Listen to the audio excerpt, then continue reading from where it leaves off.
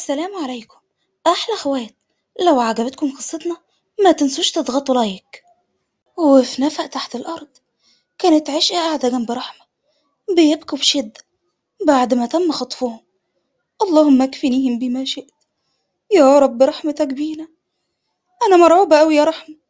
وأنا والله بس لازم نمسك نفسنا. مين اللي وشه متغطي ده؟ تلاقي واحد غلبان زينا. طب تعالي نساعده. رحمة بخوف لا أنا خايفة. يلا بس. راحت عشق وكشفت القناع. وبعد كده صرخت أبي فهد. رحمة بصدمة فهد بيعمل إيه هنا؟ مالك بتعب. أنا أكيد بحلم. عشق بحب. لا يا فهد أنا هنا. فوق بقى. مالك وهو بيبصلها بدموع. ممكن أحضنك؟ طبعا يا حبيبي. وثواني. وألقت نفسها في حضن أخوها. اللي قعد يطبطب عليها وشعقته بتزيد. حتى رحمة بكت بسببه.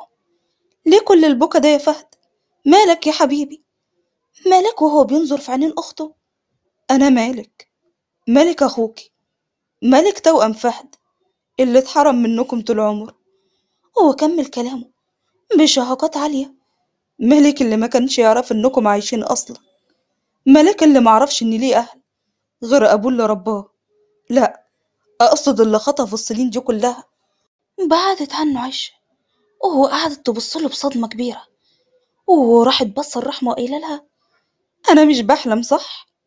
لا مش بتحلمي مالك وهو بيبصلها بعيون حمرا من البكا انتي بعدتي ليه؟ خايفة مني صح؟ عاشق بصدمة. أنا مش مستوعبة. لا. أريدك أن تستوعبي. قبل أن تفرحي به قبل أن نقوم بقتله. هو عند فهد. اللي كان قاعد في مكتبه. بعد ما مشى الجميع.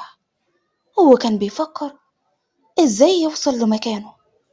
وراح قايل لنفسه أقسم بالله هجعلهم بيتمنوا الموت عشان استهزأوا بيا. أنا عذرهم عشان ما يعرفوش من الحاوي. دخلت نور وقربت منه بخوف شديد.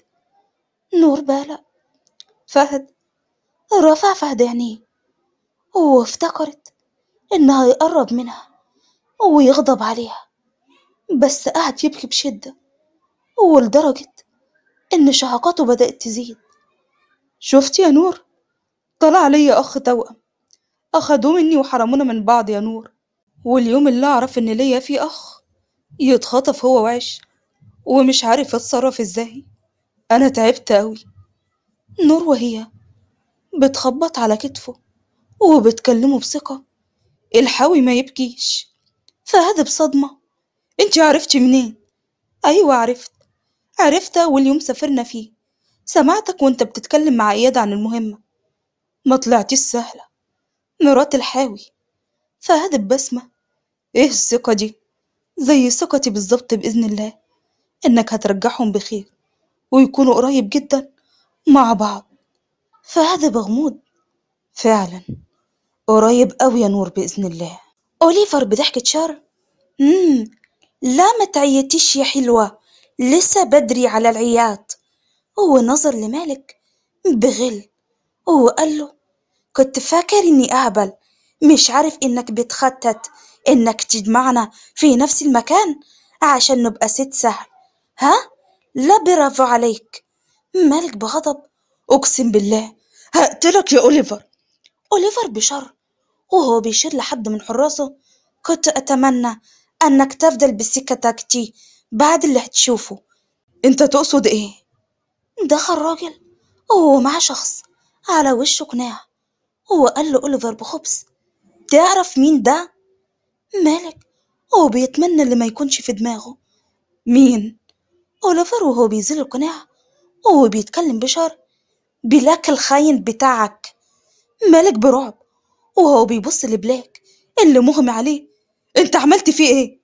اوليفر بشر دلوقتي يفوق وفاق بلاك ومالك قال له بخوف بلاك أنت كويس؟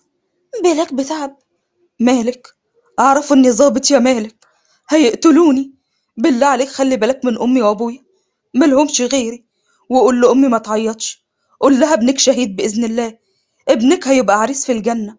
قول لها. قول لها عشان دموعها هتعذبني. ما تخليهاش تبكي عليا. خليها تفرح بيا يا مالك. مالك ببكاء. بلاك ما تقولش كده. كلنا هنخرج من هنا بإذن الله. وامسك نفسك مش كده. بلاك ببسمة أمل. أتمنى يا مالك نخرج كلنا بخير. أتمنى والله. عشق ورحمة. كانوا بيبكوا في زاوية الغرفة. وترك مالك بلاك عشان يرتاح شوية وراح لهم. ما تخافوش هنخرج من هنا بإذن الله بخير. عشق بثقة. أبيه فهد عمره ما هيسيبنا أنا متأكدة. يا رب يا عيش يا رب. بص مالك لرحمة. لقاها بنت بسيطة جدا وملابسها واسعة ومحتشمة ومش بتحط أي مسحيق ميك أب. وقال لها انت صاحبة عيش؟ رحمة بنفي أنا أخت نور مرات فهد ملك بنظرة غريبة. في عينيه اتشرفني يا أنسة عشق بضحك. يعني يوم ما نعرف بعض يا أبيه نكون مخطوفين. حظك كده يا أزعة عيشة بتذمر. يوه أنت كمان هتقولي يا أزعة مش كفاية أبيه فهد وليان؟ ليان مين؟ بنت خالته مجيدة. لما نخرج من هنا إن شاء الله وبيعرفيني عليهم. عيشة بحماس موافقة. مالك بتعب. طب يلا بقى خدي أنسة رحمة وناموا هناك في الحتة ديت وأنا هنام جنب بلاك. حاضر. وفي القصر عند فهد جمع الشباب وفاجئهم إن عارف مكان عشق لأن كان عاطيها سلسلة فيها GPS فهد في حاجة لازم تعرفها. إيه هي؟ زين بقى لأ. Mister M اللي عرف تراك المخازن هو محمد والد نور مراتك. فهد بصدمة شديدة إيه؟ لازم تهدى يا فهد. امبارح جالي رسالة بتقول إن محمد ليه يد في قتل أبويا وإن جوازي من نور متخطط. زين بعقل. اعجلها يا فهد. محمد ملوش صالح بحاجة. حسن لما لقى نفسه هيغرق جلا وجع الدنيا في بعضيها. فهد بغضب أعمى. أقسم بالله لو ليه يد في اللي حصل هخليه يبكي على كل اللي عمله. أنت رايح فين؟ فهد بجمود ملكيش دعوة. نور بتعجب. مش انت لسه كنت كويس معايا؟ فهد بقسوة أنا ولا انت اللي جيتي اترميتي في المكتب؟ وبعدين انت واحدة أهلك باعوا واشتروا فيكي. نور بدموع. وحسرة من اللي بتسمعه. أنا كل ده؟ فهد بسخرية وأكتر وأكتر بكتير. نور ببكاء. انت لسه مصدق إن بابا ليه يد في حاجة؟ لحد الآن. آه. نور بثقة. أنا بابا ملهوش يد في أي حاجة ويشهد ربنا عز وجل إني مش بكذب في أي حرف من اللي بقوله وبكرة هتعرف الحقيقة. بس وقتها هيكون فات يا فهد. فهد ببسمة ساخرة لا صعبتي عليا. نور بغضب. أنت إيه يا أخي؟ مش بتصدق حد ليه؟ حرام عليك. فهد وهو بيشدها من شعرها بغضب. أقسم بالله يا نور لو صوتك على عليا تاني لكون دفنك مكانك. لحد دلوقتي محدش يقدر يتجرأ ويعلي صوته على الحاوي. سامعة؟ نور بغضب. لا مش سامعة أنا مش ضعيفة للدرجة ديت. بس الراجل اللي ميد إيده على واحدة ست يبقى ضعيف يا فهد. فهد ضربها بالقلم وراح قايل لها وهنا؟ تكون انتهت قصتنا النهاردة. أتمنى تكون عجبتكم. ما تنسوش يا أحلى أخوات لو عجبتكم قصتنا تضغطوا لايك وتتابعوها عشان نقدر نخلصها لحد النهاية بإذن الله. ما تنسوش بقى تصلوا على النبي وكتروا التعليقات بالصلاة على النبي عليه الصلاة والسلام. وبشكركم على كل تعليقاتكم الجميلة اللي زي قلوبكم. اللهم صل وسلم وبارك على نبينا محمد. والسلام عليكم ورحمة الله وبركاته.